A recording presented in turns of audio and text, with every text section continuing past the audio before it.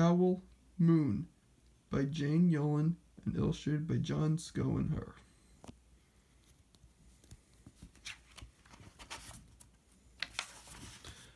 Copyright 1987. It was late one winter night, long past my bedtime, when Pa and I went owling. There was no wind. The trees stood still as giant statues, and the moon was so bright the sky seemed to shine. Somewhere behind us, a train whistle blow, long and low, like a sad, sad song. See, there they go, leaving their house. There's the barn, and somewhere behind there, back there, is the train. I could hear it through the woolen cap Pa had pulled down over my ears. A farm dog answered the train, and then a second dog joined in. They sang out, trains and dogs, for real, a real long time. When their voices faded away, it was quiet as a dream. We walked on toward the woods, and I, and there they go, on toward the woods. There's a fox. Our feet crunched over the crisp snow, and little gray footprints followed us. Pa made a long shadow, but mine was short and round. I had to run after him every now and then to keep up, and my short round shadow bumped after me. But I never called out.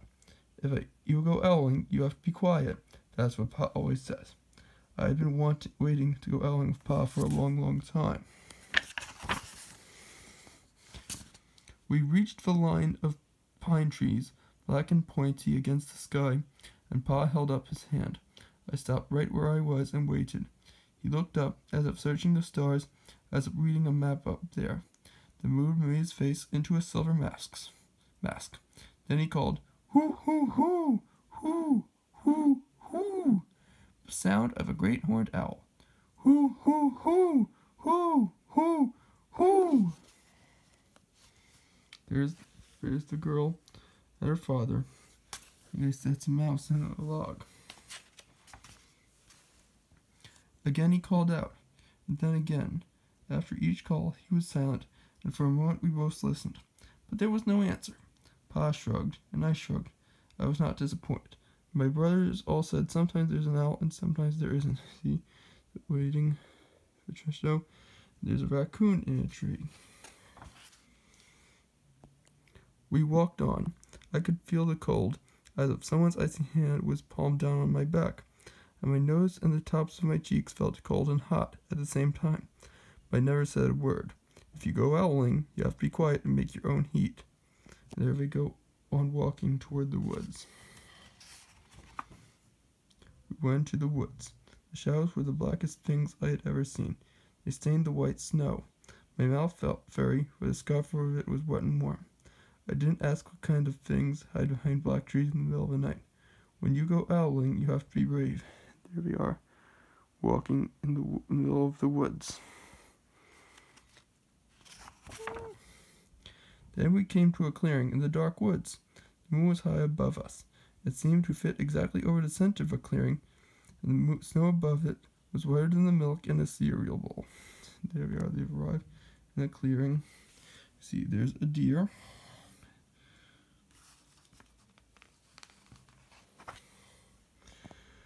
I sighed, and Pa held up his hand to sound. I put my mittens over the scarf and listened hard. And then Pa called, Hoo, hoo, hoo, hoo, hoo, hoo, hoo, hoo, hoo, hoo, hoo. I listened and looked so hard, my ears hurt and my eyes got cloudy with the cold. Pa raised his face to call it again, but before he could open his mouth, an echo came threading its way through the trees. Hoo, hoo, hoo, hoo. Pa almost smiled. Then he called back, hoo, hoo, hoo, hoo, hoo, hoo, just as he and the as if he and the owl were talking about supper, or about the woods, or the moon, or the cold. I took my mitten off the scarf off my mouth, and I almost smiled too. And there we are. Almost hear the owl. He must be getting close.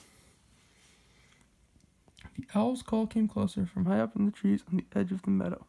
Nothing in the meadow moved. All of a sudden, an owl shadow, part of the big tree shadow, lifted off and flew right over us. Watched silently with heat in our mouths. the heat of all those words we had not spoken. The shadow hooted again. They are in the meadow, and there's the owl getting, getting close. Pa turned on his big flashlight and caught the owl just as it was laying on the brush. See?